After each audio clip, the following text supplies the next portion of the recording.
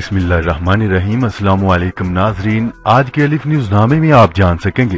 ایران کے خطرناک اقدامات سے مشرق وسطی میں کشیدگی بڑھنے کا امکان۔ فضائی حدود کی بندش کے باعث بھارت کو نقصان کی باتیں تو سننے میں آ رہی تھی لیکن پاکستان کو کتنے سو کروڑ کا نقصان برداشت کرنا پڑا۔ ناقابل یقین خبر آ گئی۔ ایف تھرٹی فائیو لڑاکا تیارے نہ دینے کا امریکی فیصلہ، اتحادی کی روح کے خلاف ہے، ترکی نے بڑا مطالبہ کر دیا۔ امریکہ کا سی پیک میں سرمایہ کاری کا امکان وزیر اعظم عمران خان کے دورے سے قبل بڑی خبر سنا دی گئی۔ مولانا فضل الرحمان اور شہباز شریف آج اہم ملاقات کریں گے۔ ریکارڈنگ کیس میں چھ ارب ڈالر جرمانے کا معاملہ۔ اب پریشان ہونے کی ضرورت نہیں، چین پاکستان کی مدد کے لیے میدان میں آ گیا۔ سعودی عرب سے بڑی خبر، شاہ سلمان نے سعودی عرب میں امریکی فوجیوں کی تعیناتی کی منظوری دے دی۔ پاکستان کا کلبوشن جادو کو کونسلر رسائی دینے کا فیصلہ۔ آبنائے ہارمز میں امریکہ نے برطانوی آئل ٹینکر پر قبضہ کر لیا حالات کشیدہ۔ السلام علیکم ناظرین، آپ کے اپنے چینل الف نیوز میں خوش آمدید اور میں ہوں آپ کے ساتھ ماجد علی۔ دنیا بھر کی خبروں سے باخبر رہنے کے لیے الف نیوز کو سبسکرائب کر لیں اور بیل آئیکن کو ضرور پریس کیجیے گا۔ اب بڑھتے ہیں خبروں کی تفصیلات کی طرف۔ خبر کے پہلے حصے میں بات کرتے ہیں، ایران نے برطانوی آئل ٹینکر قبضے میں لے لیا ہے۔ ٹینکر کے ایرانی پانیوں میں مڑتے ہی برطانیہ نے تفصیلات لینا شروع کر دی۔ مشرق وسطی میں کشیدگی بڑھنے کا امکان پیدا ہو گیا۔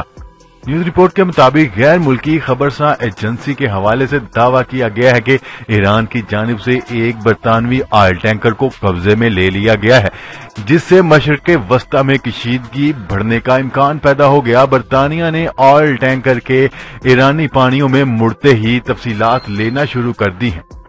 واضح رہے کہ اس سے قبل امریکی صدر ڈونلڈ ٹرمپ نے دعویٰ کیا تھا کہ امریکی بحری جنگی جہاز نے ایک ایرانی ڈرون مار گرایا ہے۔ غیر ملکی خبر ادارے کے مطابق امریکی صدر ڈونلڈ ٹرمپ نے جمعرات کو کہا تھا کہ امریکی بحری جنگی جہاز نے آبنا ہارمز میں ایک ایرانی ڈرون کو مار گرایا ہے۔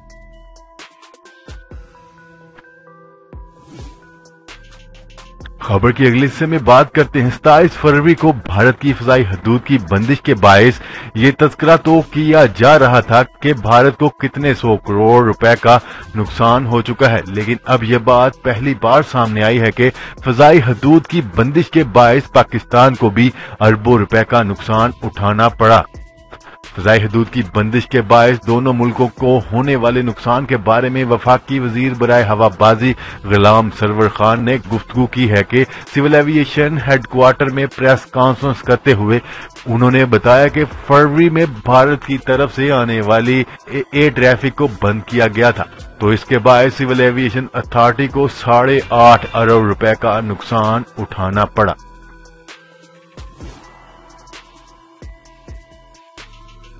خبر کے اگلے حصے میں بات کرتے ہیں۔ ترکی حکام نے کہا ہے کہ امریکی جنگی طیارے ایف تھرٹی فائیو منصوبے سے ترکی کو نکالنے کا امریکہ کا فیصلہ اتحاد کی روح کے خلاف ہے۔ غیر ملکی خبر سا ادارے کے مطابق ترک وزارت خارجہ نے اپنے ایک بیان میں کہا ہے کہ امریکہ سے یہ فیصلہ واپس لینے کا مطالبہ کرتے ہیں۔ امریکہ نے کسی قانونی جواز پیش کیے بغیر یہ فیصلہ کیا ہے۔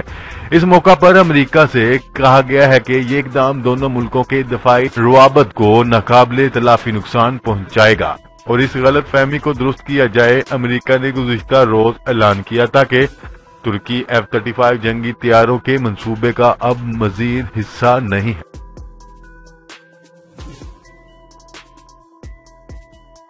خبر کے اگلے حصے میں بات کرتے ہیں۔ وزیر خارجہ شاہ محمود قریشی نے کہا ہے کہ وائٹ ہاؤس میں امریکی صدر ڈونلڈ ٹرمپ خود وزیر اعظم عمران خان کا استقبال کریں گے۔ ان کے اعزاز میں زہرانہ بھی دیا جائے گا۔ امریکی صدر اور وزیر اعظم کے درمیان دو نشستیں ہوں گی۔ دورہ امریکہ کے دوران عسکری قیادت بھی وزیر اعظم عمران خان کے ہمراہ ہوگی۔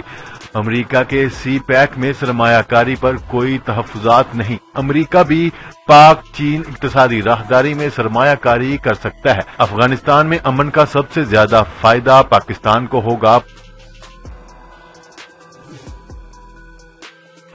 خبر کے اگلے حصے میں بات کرتے ہیں۔ جمعیت علماء اسلام کے سربراہ مولانا فضل الرحمان آج شام سات بجے پاکستان مسلم لیگ نون کے صدر شہباز شریف سے اہم ملاقات کریں گے۔ ذرائع کے مطابق ملاقات میں پچیس جولائی کو یوم سیاہ منانے کی حکمت عملی پر مشاورت ہوگی، جبکہ شہباز شریف مولانا فضل الرحمان کو میاں نواز شریف کا پیغام پہنچائیں گے۔ ذرائع کا کہنا ہے کہ یہ ملاقات شہباز شریف کی ماڈل ٹاؤن کی رہائش گاہ میں ہوگی۔ دونوں رہنما چیئرمین سینٹ کی تبدیلی کے ساتھ ساتھ آئندہ کا سیاسی لاہ عمل بھی طے کریں گے۔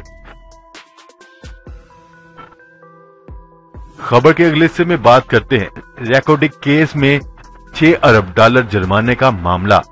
چین پاکستان کی مدد کے لیے میدان میں آ گیا۔ چین ریکوڈیک منصوبے کا کنٹرول خود سنبھال کر چیلی اور کینیڈا کی مائننگ کمپنیوں کو جرمانے کی رقم ادا کر سکتا ہے۔ تفصیلات کے مطابق ریکوڈک کیس میں پاکستان پر چھ ارب ڈالر کا بھاری جرمانہ عائد کیا گیا ہے۔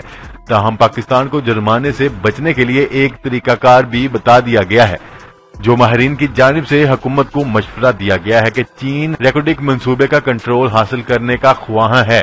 پاکستان اگر چھ ارب ڈالر کے جرمانے سے بچنا چاہتا ہے تو اسے چاہیے کہ چین سے رابطہ کرے اور اسے قائل کرے کہ وہ ریکوڈیک منصوبے کا کنٹرول حاصل کر لے۔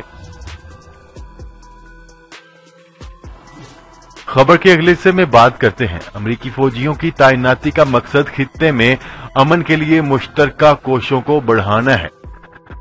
سعودی فرما رواز شاہ سلمان نے خطے کی سیکیورٹی بڑھانے کے لیے ملک میں امریکی فوجیوں کی تعیناتی کی منظوری دے دی ہے۔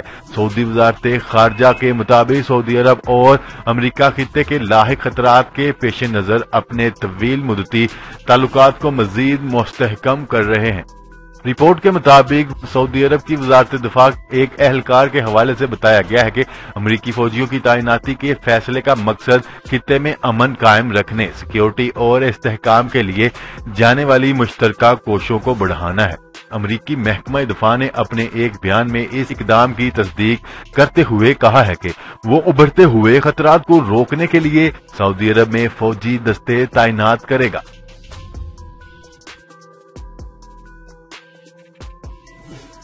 خبر کے اگلے سے میں بات کرتے ہیں پاکستانی دفتر خارجہ کے مطابق مبینہ انڈین جاسوس کلبھوشن جادو کو کونسلر رسائی دینے کا فیصلہ کر لیا گیا ہے۔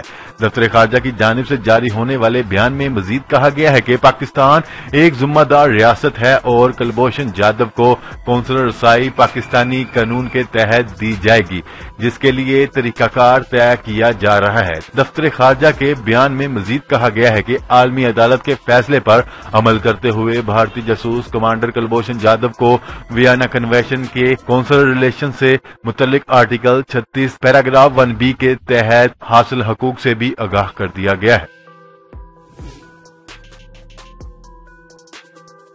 خبر کے اگلے اور اہم حصے میں بات کرتے ہیں ایرانی پاس داران انقلاب نے جمعہ کو آبنائے ہارمز میں برطانوی آئل ٹینکر پر قبضہ کرنے کا دعویٰ کر دیا نیوز رپورٹ کے مطابق ایران کے سرکاری ٹی وی کے حوالے سے بتایا گیا ہے کہ پاس داران انقلاب نے برطانوی آئل ٹینکر کو جہاز رانی کے بین الاقوامی قوانین کی پابندی نہ کرنے پر قبضے میں لیا برطانوی وزارت دفاع کے ترجمان کے مطابق فوری طور پر اس واقعہ سے متعلق تفصیلات حاصل کرنے کی کوشش کی جا رہی ہے۔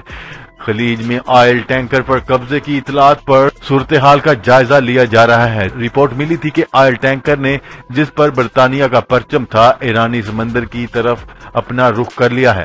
ادھر امریکی قومی سلامتی کونسل نے ایک بیان میں کہا ہے کہ آبنا ہارمز میں ایرانی پاسداران انقلاب کی طرف سے برطانوی آئل ٹینکر پر قبضے کی اطلاعات ملی ہے۔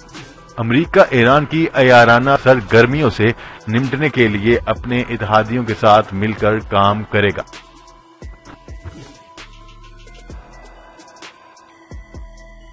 جی تو ناظرین، آج کے لیے اتنا ہی۔ مزید خبریں لے کر بہت جلد آپ کی خدمت میں حاضر ہوں گے۔ تب تک کے لیے اپنا خیال رکھیے گا۔ اللہ نگبان پاکستان زندہ باد، پاکستان آرمی زندہ باد۔